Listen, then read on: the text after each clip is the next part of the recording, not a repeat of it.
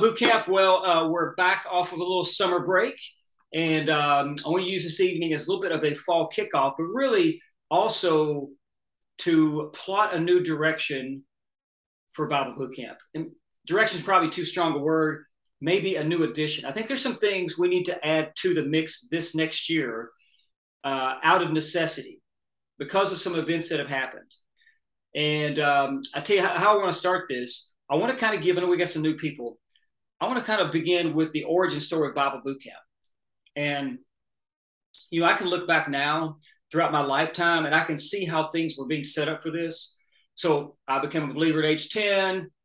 And that's really like end of the story for right there. From 10 to all the way through college, uh, I had little to no growth. I knew nothing about the Bible. I um, I was a believer, I was saved, and that was it. But nobody talked to me about what being a believer meant and what to do with it now. So there's no growth whatsoever. And uh, matter of fact, I went all the way through college, and then there was a random a series of events that all happened within a week that led me here to this church I'd never heard of before, Fellowship Bible Church in 1999. Got connected with some men, got connected with some organizations. It's the first time I'd heard about the Church of Irresistible Influence and I Squared and uh, the Quest for Authentic Manhood, all these things, and one other one called One to One. And to this to this point, I had really I never knew anything about the Bible. I went through this program here by Robert Lewis, and they actually had they wanted to start using this as their on ramp to all new members. So if you were coming into fellowship, they wanted you to go through this six week course because it gave like the big picture view of the entire Christian faith. There was a week devoted to who is God. There's a week devoted to what is the Bible. There's a week devoted to Jesus. A week devoted to uh, the Holy Spirit. You got a big snapshot of everything. I went through this a lot.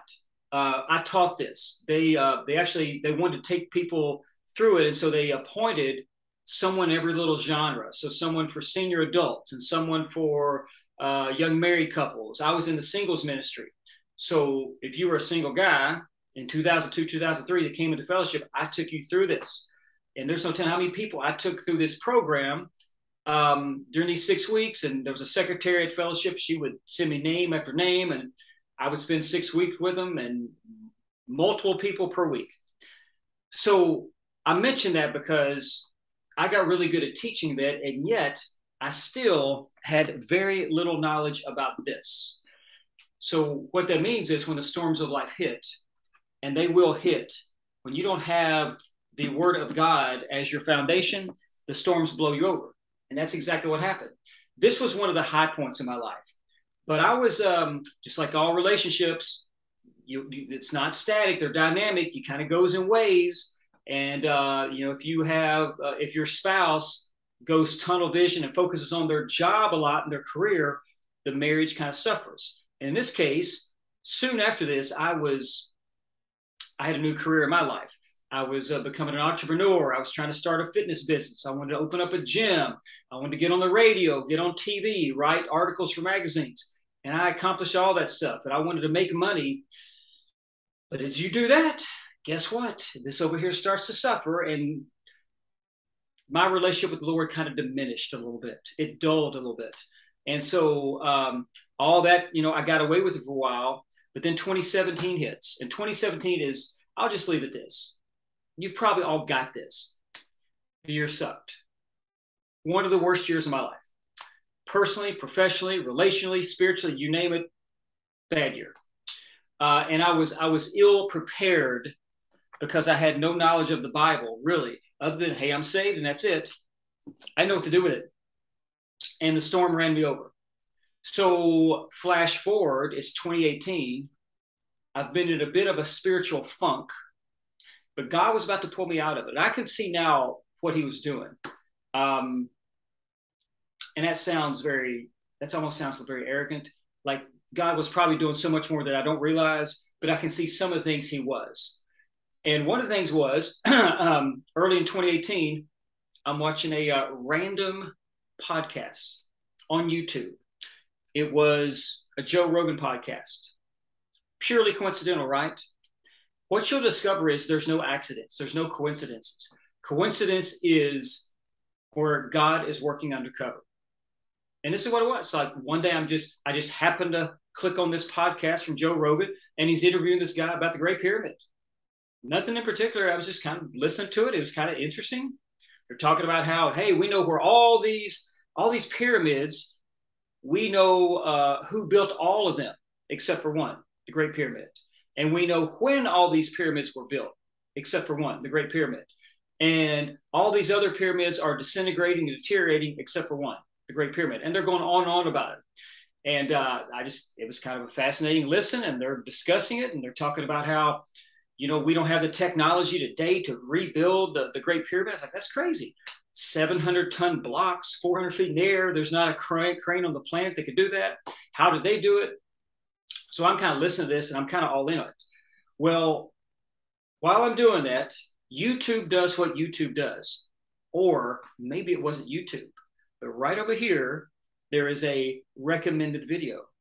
I was watching this on pyramids, and it just so happens to pop up a video on pyramids by another man, a man by the name of Chuck Missler.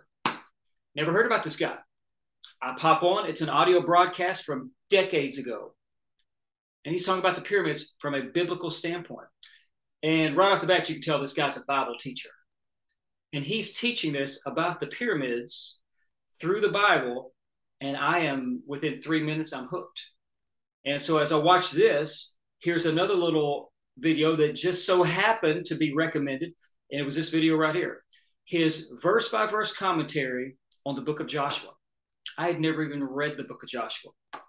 And so I click and I'm listening to it. And I'm, I'm just, I'm captivated by this guy. And, and I'll, I'll spare you this just other than to say, I have never heard anybody teach the Bible like this before. He is going verse by verse. He's giving a breakdown, an explanation of every single phrase and verse. He's connected and linking it to throughout the Bible. And I'm like, this is amazing. And something clicked, and an interest and, an excitement just snapped in me. And I started taking down notes. I started listening to him. And I go through, I mean, it was like, I don't know, 12, 15 different sessions of Joshua as he went through chapter by chapter. And I took down notes of all of it. I was just fascinated by it. I learned so much going through that that I had never learned in my lifetime. And I was like, well, I'm going to go through other books. This guy had them all. He, he had had a 60 year ministry. He had taught, he started teaching a Monday night Bible study back in the early 60s out in uh, uh, Costa Mesa in California. And he teaches every Monday night, going through the Bible verse by verse. Takes over a decade to go through the Bible that way. Once he does that, there was this new innovation at the time in the early 70s coming out called the cassette tape. So he goes back through the Bible. This time they record them on cassette tapes and he starts sending them out to the world. And you can find these audio recordings all over the internet. It's phenomenal. It's an incredible teacher. Then, as he wraps up this, it takes another couple decades to go back through the whole Bible again, teaching it once a week, verse by verse. By this time, it's the age of the internet, and he gets one of the first internet sites there was, khouse.org, and uh, starts putting on video slides. And he goes back through the Bible again. The guy has 60 years of content. And so I was, this year was a turning point for me, and it was setting things up. I'm going somewhere with this, but uh, I started going through each book and I would jot down notes. And I really ha- I had the desire. I want to create my own Bible commentary. I want to have the Bible kind of typed out and insert like uh, commentary notes from other Bible teachers and kind of build out my own little uh, special commentary. So I'm doing this for like six, seven months. This becomes my hobby. I'm no longer binge watching, you know, Netflix and Hulu. I'm doing Chuck Missler Bible studies every night. It was so fun. And I learned so much in those six, seven months. So, flash forward, it's December 2018, and I'm walking down the sidewalk. And literally, it's one of the very few God moments I've ever had. I really haven't had many. And I hear people talking about this, oh, this is a God moment. I haven't had many. This is one I had. I'm walking down the sidewalk, and in my head comes Bible boot camp. I'd never heard that before. I went home and I wrote it in my journal, Bible Boot Camp question mark. And I wasn't sure what to do with it. So I just kind of left it there. It just stayed there. But six more months later, It's now May, and I'm in this little city named Jerusalem, which is not a little city at all. And I don't know if it was being in the holy city or it was the environment or just the group I was with, but I, I realized during that week, I have learned so much in the past 12 months going through this all these bible studies all these this this 60 years of resource by him. I want to share this with people. I don't know how. And it just dawned on me. Come on man. You own a gym you train people you work in the community do a bible study. Let's just do it right there within the gym. And i made, made a commitment there in jerusalem. When i get back home we're doing this. We're going to start it out at fast fit and that's what happened. So you know look while this was going on it was 2019 and they'd come out with a decade of research on you know where the church was going. And this is one of the statistics they come up with that they were realizing that pastors at this time were only preaching from 2 to 5% of the bible. That's nuts right? So most of the pastors they found were bypassing the old testament and only preaching from the new. So they're leaving out two thirds of the Bible. Plus, they don't want to teach on Bible prophecy because that's weird. So that's another fourth of the Bible. When you subtract two thirds plus a fourth, you get a small fraction. Basically, the Gospels and a few letters of Paul. That's it. So it's a real narrow scope. And this kind of really motivated me. It's like, okay, then I want Bible Boot Camp to be kind of supplementary to what people aren't getting from the church. That was the goal mission. And a couple of verses kind of made our I'll say our foundation is kind of like our core values. A few verses of the Bible that kind of signified who we are and, and what we're going to be. One was 1 Timothy 3.16, which basically says this book is of extraterrestrial origin. Not the cardboard, not the print and the ink, but God's word, 1 Timothy 3.16 says, is breathed out by God. It is engineered by the Holy Spirit through men, but but engineered by the Spirit Himself. It doesn't originate here on earth. This is not the feelings of Moses or the thoughts of Paul or the opinions of Peter. No, no, no. This is the Holy Spirit. This is all scripture is inspired. The second verse was kind of Ephesians 6:12, which means that the struggles that we're going through is not a neighbor, family member, co-worker, boss, leader, political party, Congress, Supreme Court. That's not our struggle. Our struggle is against the powers and principalities of the unseen world, the cosmic forces in this present darkness. It is spiritual warfare. So these two verses kind of number one, that the Bible is written from outside of time and space. It predicts history in advance. It's a supernatural document. And second, that our battle is supernatural. It's a spiritual warfare. So these two verses kind of really made up, you know, who and what we are. But there was a third verse. And it was this thing that we use in just about every session. And that is the Berean principle. The fact that, you know, I didn't feel like I was a Bible teacher. I got no formal education. Uh, I, I've never been to seminary. I don't, I don't know how to teach the Bible. I don't have to. Because here's what happened to Paul and Silas. Neither had they. They went to Berea and they realized the people in Berea were more open minded. They listened eagerly, but then they would go home and search the scriptures day after day. That made up kind of this um, uh, this third pillar of what we are. That yes, it's inspired. We're dealing with spiritual warfare, but Acts seventeen eleven was basically my green light to say I don't have to be a Bible teacher. What I need to do is present the Bible in a compelling enough way that you will go home and be excited, amp up your enthusiasm, get the juices flowing. So you go home and you read the Bible. There you go. That's my job.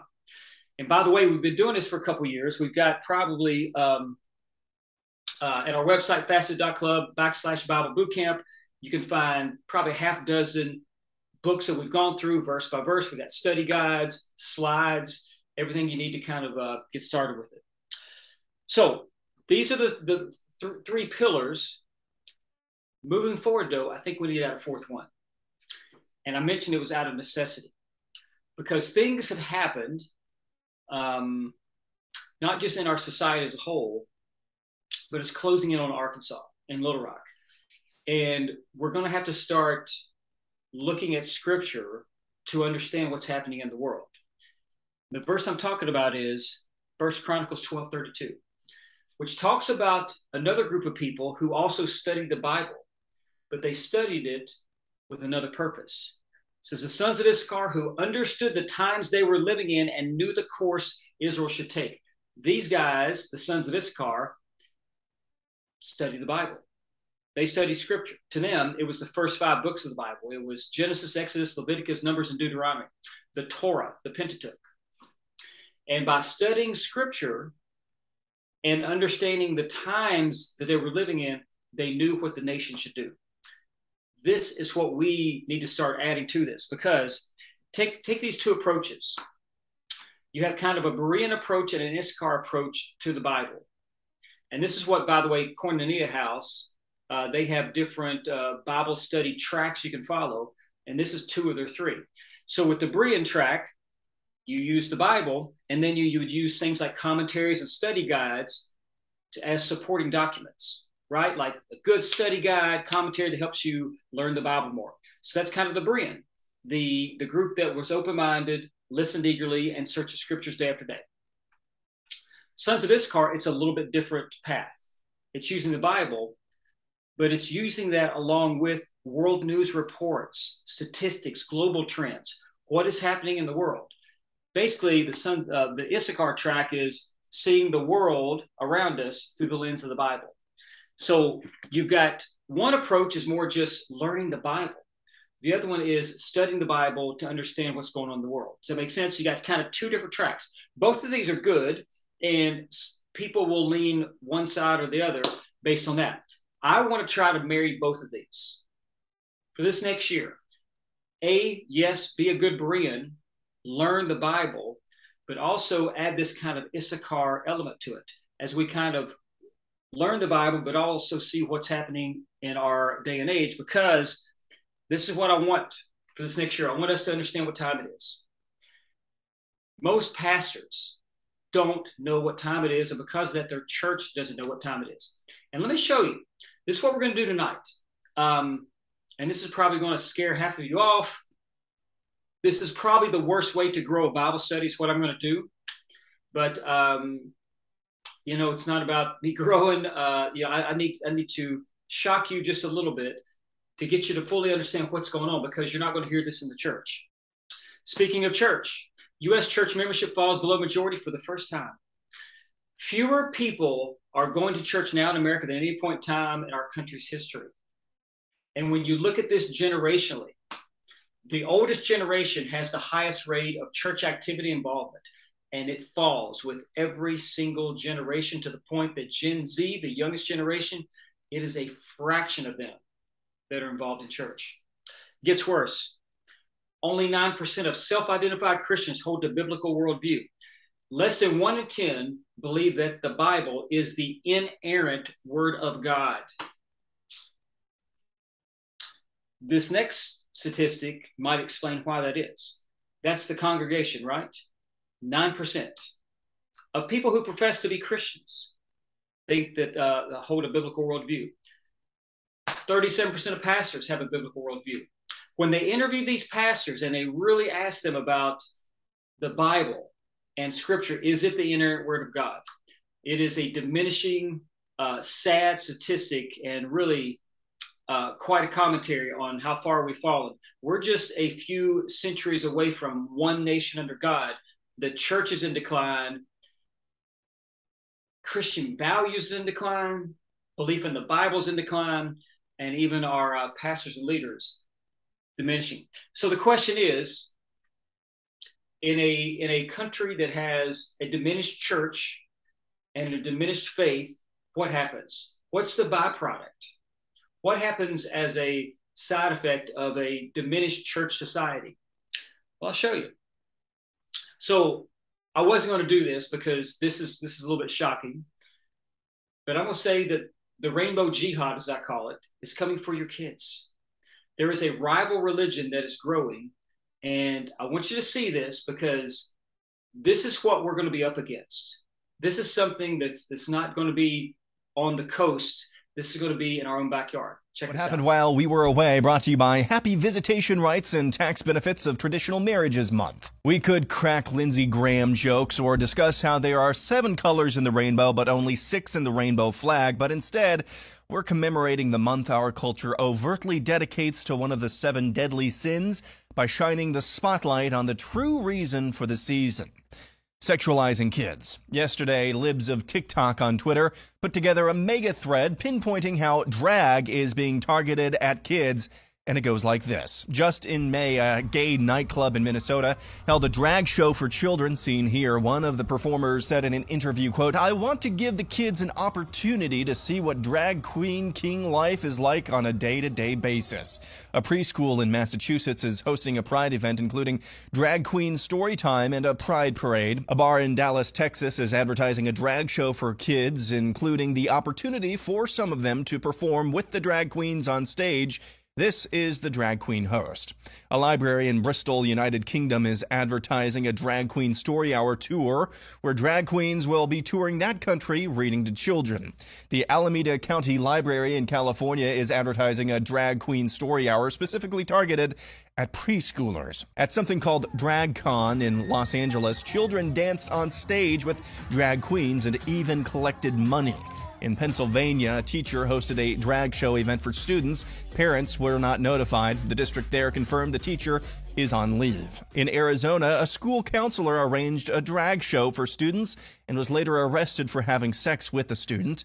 In Jasper, Indiana, a pride event with a drag performance is being advertised for all ages, and they're encouraging kids to bring cash to tip the drag queens. In Ontario, a youth pride organization organized a drag queen story hour tour at various public libraries for all ages. In Weston, Vermont, a public library had a drag queen story hour for all ages with stories focused on gender and activism.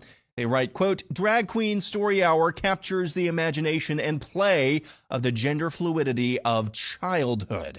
Libraries in Cambridge, Massachusetts, Chicago, Amesbury, Massachusetts, and Davenport, Iowa are all holding drag queen events for kids. All of those libraries are publicly funded. A Philadelphia school invited a drag queen to perform for students, and it's still on the schedule for later this week. The administration for Ankeny High School in Iowa claimed they had no idea a drag event was scheduled where this guy performed for students. There's apparently an investigation into the matter.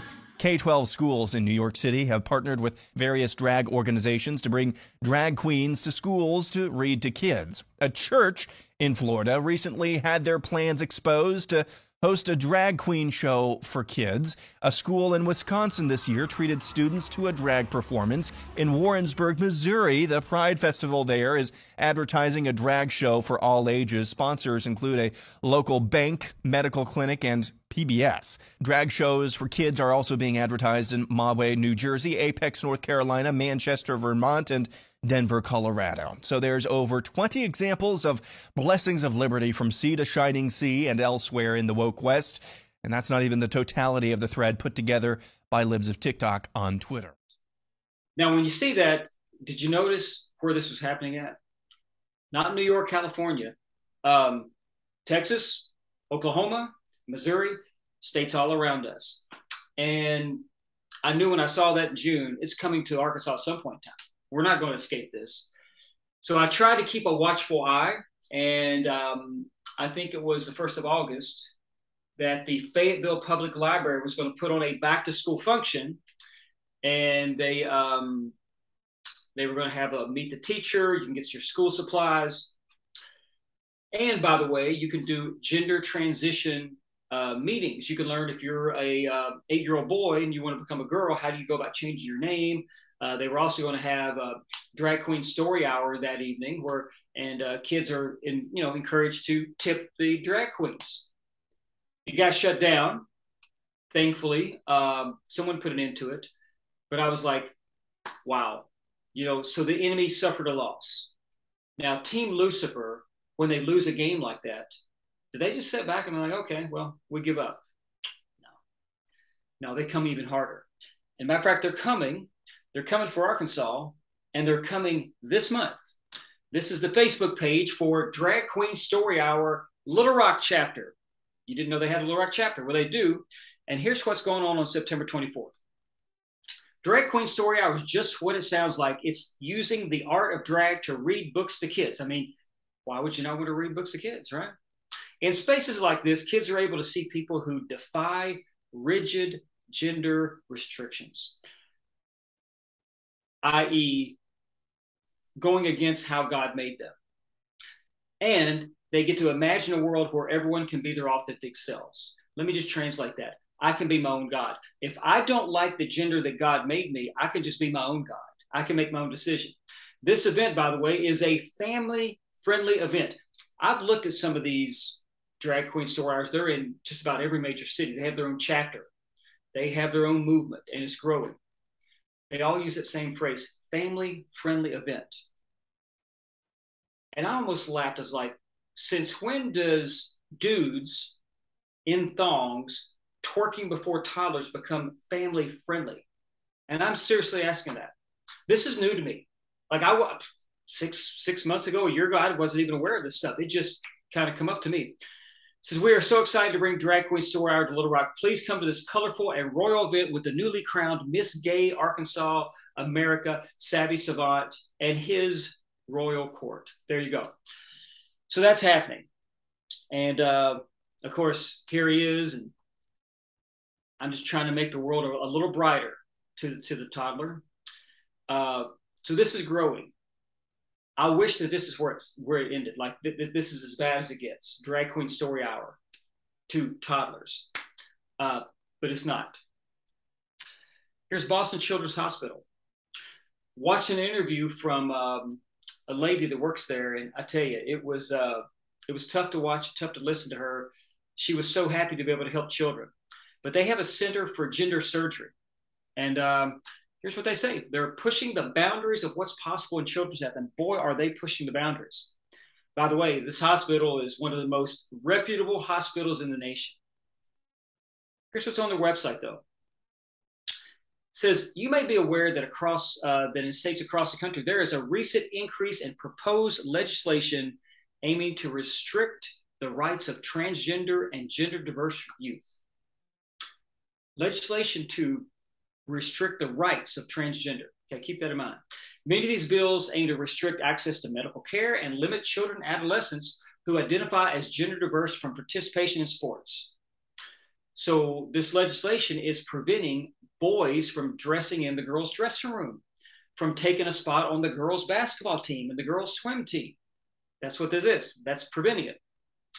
Boston Children's Hospital has always been and always will be committed to providing the best care for all of our patients, regardless of their gender identity. The belief that all children deserve the opportunity to live, grow, and thrive with love and support is foundational to who we are and what we do. It sounds great. It sounds like they really love kids and it goes on and on and on. Um, let me just sum this up and give you a perspective of what they're doing. Here's how they love children. So, an eight year old boy decides in a moment he wants to become a girl. Um, Boston Children's Hospital will help them. First thing to do is they castrate the young boy, and then they will take the skin of the penis and they will create a fake vagina. It's a surgery that goes all the way up into the pelvis um, and he will have to spend the rest of his life um, weekly lubricating himself because he can't self lubricate and he'll be irreversibly changed. That's part of the surgery. They're also performing breast removal surgery for 12 and 13, 14 year old girls who decide they want to be a boy. And it goes on and on. Do a Google search on it. You're going to be appalled at some of the stuff. I'm taming it down. I'm actually giving you the, the, the tame version of this because it is uh, it, it is sad and depressing to me. My heart goes out to these kids, and I have this anger towards people like this woman who smiled and says, "We will let any eight-year-old boy be anything he wants," and also the parents. So this is going on now. This is in Boston. You know, it's kind of a you can kind of see that happening there. Surely not in Arkansas, right? Huh. This just recently popped up on Arkansas Children's Hospital, uh, their website. Is Arkansas Children's provides services to, to, youth with gender dysphoria due to gender incongruence using a gender affirming model of care and individualized treatment plans developed for each patient. I'm not sure what that means. I hope they're not following the path of other uh, hospitals, but something tells me they might. So we've got Drag Queen Story Hour coming for the kids. We've got transgender surgery to eight year olds also coming for the kids. Where's this going? What's the next step? Now, all of this is under what I call the rainbow jihad. It's all the same. This is what I believe is America's new religion. They have their own symbol, they have their own doctrine, they have their own belief system, they have their own devoted followers. They are they will fight tooth and nail for their belief system and their doctrine just as much as Christians will. This group, however, though, is about to have the full power of the federal government behind it because they're going to be able to weaponize everything to fight against what I think is the rival religion. Christianity and the Rainbow Jihad is is um, about to clash. Now, let's look at this right here. Where, where's the trend going? You've got this whole thing, whether it's gay, transgender, everything, this LGBTQ. When you look at it from a generation standpoint, the silent generation is only 0.8%. But with boomers, it more than doubles. And with Gen Xers, it doubles again. You'll find that it's doubling every generation. When you get to millennials, it doubles again. When you get to Gen Z, it doubles again. Where's this going? Well, I think you can see where it's going. And if this carries on, I mean, it's not too long from now as it doubles every generation. We're going to be Sodom and Gomorrah, 100%. So, how do we stop the trend? How do we stop that? It's simple. It's what I've been talking about. It's revival or bust. We have to bend the knee and have and pray for revival. Uh, but I'm going to get into some what I think we should be doing. So this is the uh, the Pride rainbow. Notice it has six colors, six colors of the Pride rainbow, where God's rainbow has seven. But okay, so you've got um, you, you've got this growing movement. You got transgender surgery. Maybe that's as far as it goes, right? No, the enemy doesn't let up, and he's coming for the kids. I mentioned about six months ago uh, the, the next letter that's going to be added onto the LGBTQ is going to be the letter P, pedophilia. That's the next logical step. They're coming for the kids this way. Check out Google. It's called now Minor Attracted Persons or MAPS. It's a neglected population. And we are vilifying people that are pedophiles. Really, they're just suffering from a minor attraction. They're attracted to minors. Meet Miranda. Miranda is a licensed counselor specializing in sex education, and she believes that we have to start treating pedophiles much differently. We need to show tolerance and acceptance for who they are. Meet Dr. Allyn Walker. Might be confusing, but yet, despite the haircut, Dr. Allyn Walker is a woman. And uh, she is a professor, I think, at Virginia. She wrote the book A Long Dark Shadow Minor Attracted People and Their Pursuit of Dignity. Let that sink in. Here's part of the book it says, To those who accept themselves, to those who are working on it, and to those who accept others, even when it's hard. The whole premise behind what she teaches is that um, we need to show more tolerance and acceptance and love to people who are suffering from minor attraction says having an attraction to uh, to a minor as long as it isn't acted upon doesn't mean that person who has those attractions is doing something wrong. A lot of people, even when they heard the term pedophile, they automatically assume that it means a sex offender, and that just isn't true. It leads to lots of misconceptions about attraction towards minors. So all this is the same. I mean, from you know, even right now, our country is voting on this week same-sex marriage and whether it's same sex marriage or drag queen story hour or the LGBTQ community or transgender surgery, it's all the same and put pedophilia in the same thing. They're coming after the kids. But ultimately, here's what's happening this is all about to become federal law. Everything, I, I, I believe, even at some point in time, pedophilia. This will all be weaponized against the church that's what this has always been about. I used to think that it was about um, same sex marriage, was about kind of dismantling the family. No, it's not about marriage. We fought that 10 years ago. This is about weaponizing it against the church. Why is that? Do you know that in America right now, 80%, 80, 80 of all the global missions that go out to the world, 80% is right here in America. Boy, don't you wish that, don't you think the enemy would love to take out that? I think he will. I think I think that's I think that's his plan. Um, now the church will go on. Even the gates of hell won't prevail against my church. So we know that's true, but I don't know about America. There's no guarantee there. But this is all being weaponized against the church, and, and I believe that's that's where we're headed. So, just some thoughts here. I want you to this week read Romans chapter one. It is the ultimate, it's the pinnacle of Paul's writing, the whole book of Romans. Romans 1 is the litmus test. You want to find out where your church is? What's their opinion of Romans chapter 1? Do they even teach it? Most churches skip Romans like they skipped Leviticus in the Old Testament. Romans chapter 1 is your litmus test to determine does your pastor and does your church know what time it is? Because you, you can't you can't get around it. It's up in your face. It is Paul bringing the heat.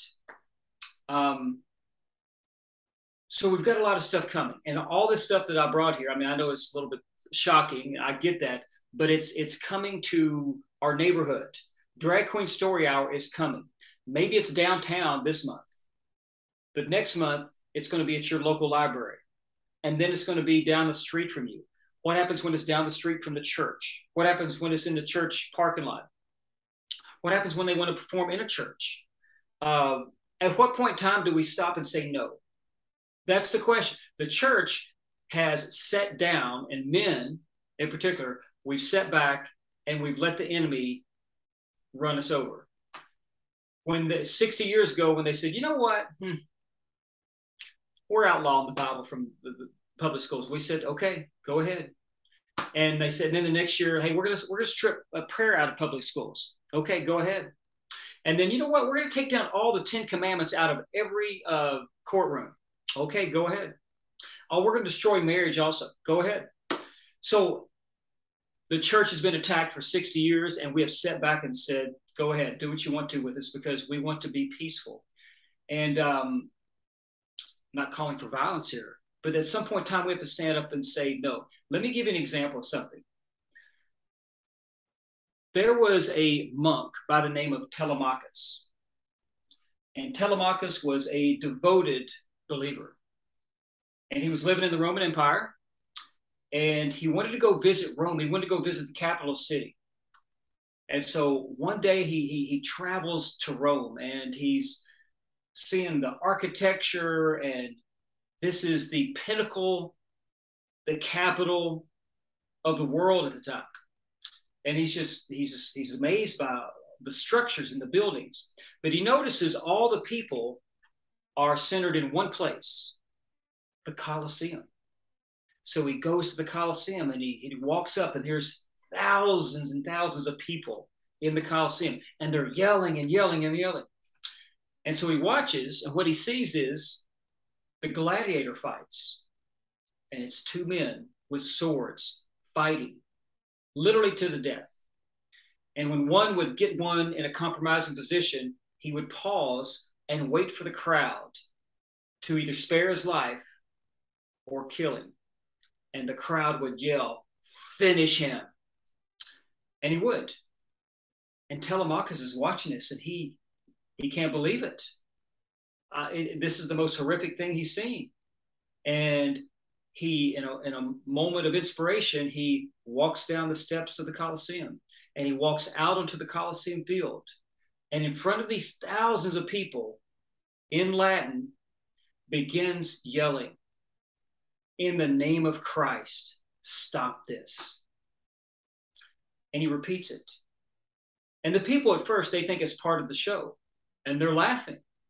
But soon they realize that he's serious as he keeps repeating, in the name of Christ, stop this.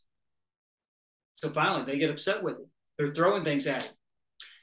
And one of the gladiators takes the spear and runs it through him.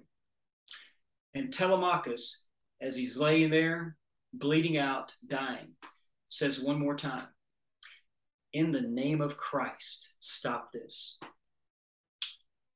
And Telemachus died there, right on the Colosseum field. Probably not how he thought that day was going to end. But you know what else? What happened? That was the final day of the gladiator fights. It came to an end that day. Because as word got out about Telemachus and what he did, the church, the believers in the community rose up, inspired by his sacrifice. And they are the ones that took the stand and said, In the name of Christ, stop this. And they did. The church stood up against the empire, the most powerful empire.